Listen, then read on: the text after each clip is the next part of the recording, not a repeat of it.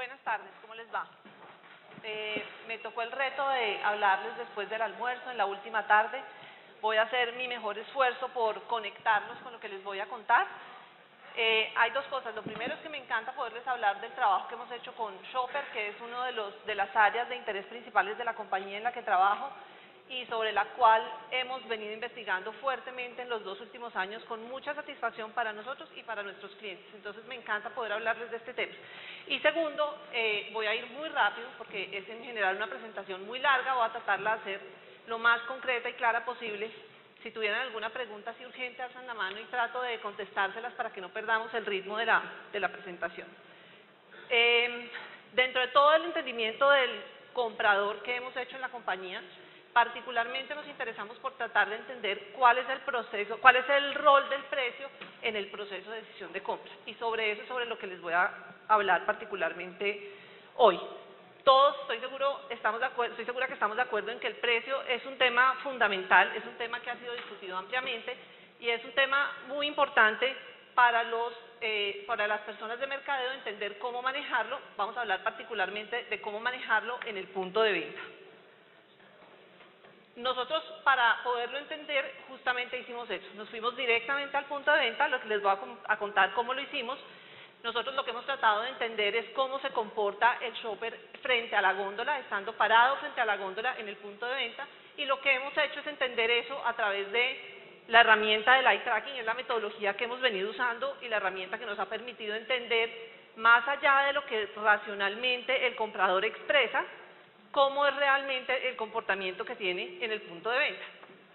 Eh, una de las grandes ganancias del eye tracking en nuestro concepto, pues es uno, que no es una herramienta intrusiva y dos, que nos permite ver cómo se comporta, nos da la evidencia para ver efectivamente qué es lo que hace el comprador mientras está haciendo sus compras.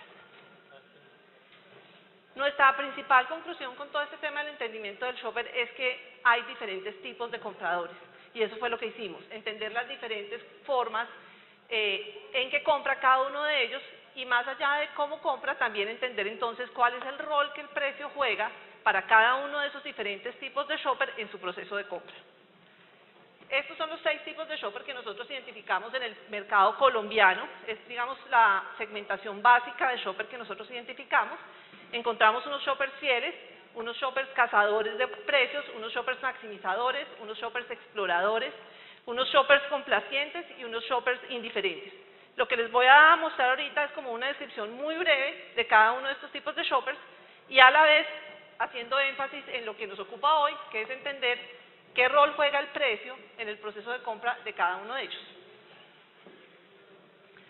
Hablemos entonces de los fieles a ciegas, como su nombre lo indica, pues son personas son compradores que saben lo que quieren, no consideran la posibilidad de cambiarlo, están casados con una marca en particular y tienen claro, entre otras cosas, cuál es el precio que normalmente pagan por ello. Entonces, realmente lo que estos compradores hacen cuando llegan al punto de venta es un proceso de verificación del precio.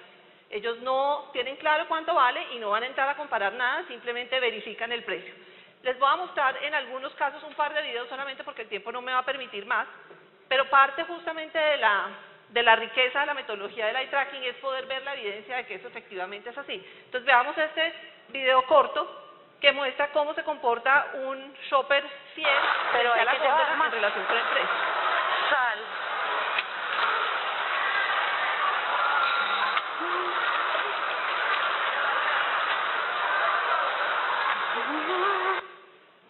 ahí lo vieron, efectivamente él llega frente a la góndola, en este caso de sal, verifica su precio, que es la marca que siempre compra, lo toma y se va. Eh, veamos el caso de los, de los shoppers maximizadores. Los shoppers maximizadores son shoppers que están mucho más involucrados con la compra, que realmente se preocupan por buscar la mejor relación precio-calidad, características de la marca en cada uno de los productos que compran o en los productos que compran de cierta categoría en particular eh, y efectivamente hacen un proceso muchísimo más exhaustivo de evaluación del precio. Son shoppers que se preocupan por comparar los precios entre las marcas que tienen disponibles. Ahí ven algunos datos en todas estas diapositivas, no voy a entrar a hablar de todos, pero los pueden ir viendo ustedes. Eh, de cuánto se demora el proceso de evaluación del precio en cada uno de estos tipos de compradores, particularmente en el caso del mercado colombiano. Y acá vemos, por ejemplo, que ellos invierten alrededor de seis segundos en la evaluación del precio, mientras que los fieles a ciegas invertían un segundo en la evaluación del precio. Y también qué porcentaje de su proceso de compra, del tiempo que dura el proceso de compra, invierten los shoppers en, ese tema relacionado con evaluar el precio. Eh, hablando ahora del tercer tipo de shoppers, son los exploradores. Los exploradores les encanta conocer y ver todo, son shoppers que realmente están abiertos a mirar nuevas posibilidades, son los shoppers que les encanta probar los productos nuevos que salen en el mercado, que, encuentran disponibles en el mercado, etcétera. Son shoppers que van a pasear, les gusta hacer mercado, les gusta estar un tiempo amplio frente a la góndola y disfrutan haciendo ese proceso de compra. Estos shoppers, en el caso de, este tipo de shopper, el, 85% de ellos también hacen realmente en relación con el precio un proceso simplemente de verificación. Ellos tienen un presupuesto estimado en su cabeza, saben cuánto es el máximo que van a pagar y no entran a hacer ese proceso de comparación, simplemente verifican y escogen el producto que van a comprar. Están también los cazadores de precios, que se pueden imaginar fácilmente quiénes son, pues son los shoppers que efectivamente están muy inclinados por el precio, por las promociones, eh, en el 100% de los casos, estos compradores lo que hacen es comparar los precios. El tiempo que gastan en su proceso de compra en relación con el precio es muy amplio, el 11% del tiempo lo destinan a evaluar el tema del precio y su foco principal son las promociones. Este video también lo vamos a ver como para que vean la diferencia entre, entre dos tipos de, de shopper y, el, y cómo hacen el proceso de compra en relación con el precio.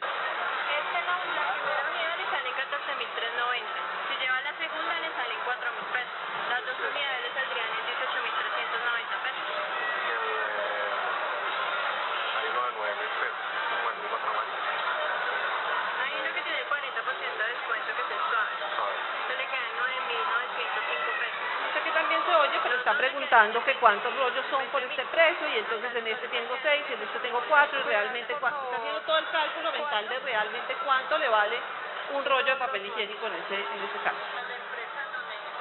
¿No? Yo vi mucho papel allá debajo. Pero está demasiado barato. Ok. Eh, en el caso de los complacientes, los shoppers complacientes son shoppers que se inclinan por darle gusto a su familia, quieren es cumplir los deseos de quienes los rodean, particularmente de los niños, los niños que van al supermercado con sus papás, con sus papás, muchos de los shoppers que llevan a los niños al supermercado es porque son shoppers complacientes y están dispuestos a darles gusto en el proceso de compra. Este tipo de shoppers también, el rol principal que, que juega el precio en su proceso de decisión de compra es de verificación, ellos simplemente quieren darle gusto a los demás, no les importa cuánto, cuánto les vale ese, ese darle gusto a su familia. Y finalmente están los shoppers indiferentes, que son indiferentes no solamente en relación con el precio, sino también en relación con las marcas. Muchas veces hasta se equivocan en el proceso de compra, les da la misma comprar la margarina marca A que la margarina marca B y no hacen un proceso exhaustivo de verificación de precios. Em, en el mercado colombiano, en general, con las categorías que nosotros estudiamos, hicimos un estudio sindicado en el, que incluimos más de 20 categorías. Esta fue la distribución de shoppers básicas que, básica que encontramos. Encontramos que los shoppers fieles son aproximadamente el, 38%, que los cazadores de precios son el 18%, los, los maximizadores el 16%, los exploradores el 15%, los complacientes el 8% y los indiferentes el 5%. Y si ustedes van asociando eso con lo que les hablé ahorita de que cada uno hacía una función específica en relación con el precio, lo que terminamos encontrando es algo como esto, que una tercera parte de los shoppers, donde están prácticamente o principalmente exploradores fieles y complacientes, lo que hacen es verificar el precio en el punto de venta. Ellos ya tienen una idea de cuánto vale el producto que van a comprar y lo que hacen es verificar en el punto de venta si ese precio en verdad es el que ellos pensaban que debía ser. El 36%, que son principalmente los cazadores de precios y los maximizadores, efectivamente destinan un tiempo amplio de su compra a hacer comparación de precios y con base en esa comparación escogen lo más barato generalmente. Y el 37% no ve los precios. Ahí están los fieles a ciegas, eh, los indiferentes y los complacientes. Eh, y eso nos lleva entonces a concluir que solamente uno de cada tres shoppers incluye el precio de forma central en su árbol de decisión. Creo que eso es bastante diferente a lo que uno encuentra de manera reportada Cuando le pregunta a alguien qué tan importante es para usted el precio en su proceso de compra. En general la gente tiende a manifestar racionalmente que el precio es muy importante en el proceso de compra. Aquí lo que encontramos es que efectivamente cuando estoy parado frente a la góndola, solamente uno de cada tres, de uno de cada tres shoppers incluye el precio de manera central en su árbol de decisión. Entonces, pues esto nos lleva a pensar que el precio no entra tan, generalizadamente como todos creíamos en el proceso de decisión de compra. Sin embargo, eso no significa que el precio no entre de alguna manera eh, relevante en el proceso de compra de las personas cuando se acercan a un punto de venta. Finalmente, lo que la gente hace es que identifica una necesidad bien de compra o de reposición de, productos para su casa, eh, tiene una idea estimada de cuál es el presupuesto que va a invertir en esa compra que va a realizar y finalmente escoge el establecimiento al que va a ir. Y ahí hay otra variable que es importante entonces tener en cuenta y es cuál es la imagen de precio que la gente tiene de los establecimientos que frecuenta para escoger cuál es el establecimiento, la cadena, el supermercado que va a visitar para hacer en general sus compras. Eh, y ahí entonces también nos centramos en la, nos pusimos en la tarea de tratar de entender cómo medir la imagen de precios de los establecimientos y qué tan importante es esa imagen de precio que yo tengo para escoger el punto de venta al que me voy a dirigir. Para hacerlo, hicimos un estudio con, con varios miembros de la red de empresas de investigación de mercados independientes a la que pertenecemos, que es la red IRIS, eh, donde están incluidos, y ahorita les voy a mostrar algún dato, también países como Chile y Perú, que están por aquí acompañándonos, y em, entendimos, tratamos de entender que, cómo medir esa imagen de precio de los establecimientos. Para hacerlo, eh, contemplamos cinco dimensiones diferentes, se las voy a explicar cada una de ellas. Entonces le, preguntamos a los compradores variables relacionadas con establecimientos en cada uno, con lugares, puntos de compra, puntos de venta en cada uno de los, países que están incluidos en el estudio y tratamos de entender cuál es la percepción del nivel de precio que manejan de la cadena, qué tanto hay una percepción de confianza en relación con los precios que ofrece la cadena, realmente el, el comprador siente que la cadena es justa, que ofrece unos precios que sean justos, ¿Qué percepción hay en relación con los descuentos que ofrecen? ¿Ofrecen descuentos frecuentemente o no? ¿Qué tipo de, descuentos ofrecen? ¿Qué tan estables son los precios a lo largo del año en, esa cadena en particular? Eh, ¿Y cómo son los folletos y todo el material promocional que utilizan en cada uno de los diferentes puntos de venta? Acá ven discriminadas algunas de las características puntuales que están, o de los atributos específicos que están contemplados dentro de cada uno de esos aspectos macros macro que evaluamos y acá ven los resultados particularmente para Chile, Colombia y Perú.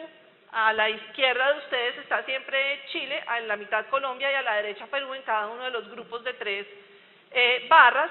Y lo que vemos es que hay unas oportunidades, digamos que en estos mercados particularmente hay una oportunidad interesante en relación con trabajar las variables de justicia y transparencia y volatilidad que están relacionadas con variables como los precios son estables durante el año, si la gente realmente percibe que eso es así o no, o la gente percibe que los supermercados están variando los precios a lo largo del año de manera, digamos que indiscriminada e injusta, podríamos decir, los, si los precios son siempre justos o si aún cuando no está seguro del precio de un producto confía en que no lo están estafando. Finalmente, pues lo que uno ve es que si el consumidor o si el comprador está tranquilo en relación con lo que el punto de venta le está ofreciendo, va a haber un proceso mucho menos exhaustivo de verificación de precios en el punto de venta.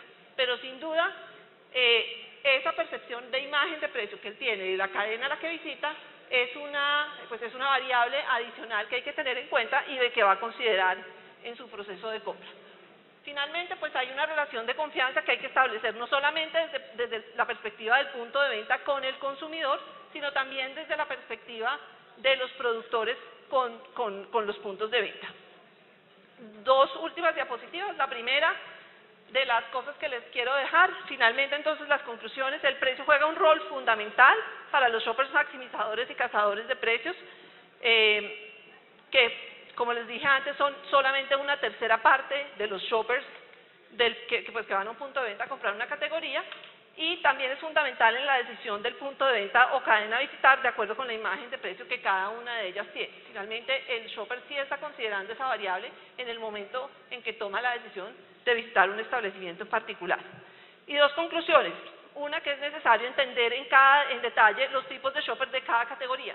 Finalmente, lo que nosotros encontramos es que así como en la categoría de panes, particularmente en Colombia, la mayoría de los consumidores son fieles, en la categoría de granos, la mayoría de los consumidores son indiferentes, o en la categoría de quesos, son exploradores. Tenemos una, claramente una distribución diferente dependiendo de la categoría que estemos hablando y es muy importante para las marcas y para las estrategias de activación que implementen en los puntos de venta entender qué tipo de compradores los están, qué tipo, qué tipo de compradores tienen. Realmente vale la pena tener impulsadoras en el punto de venta si el 80% de mis consumidores son fieles.